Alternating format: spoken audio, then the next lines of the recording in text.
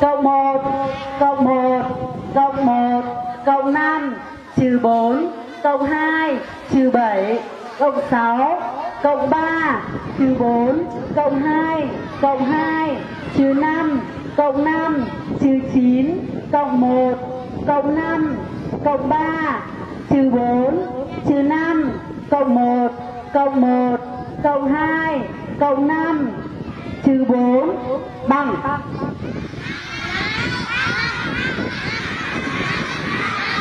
Ở đây người ta đã ra kết quả trước rồi. Được tính kết quả trước. Và bằng năm là kết quả chính xác.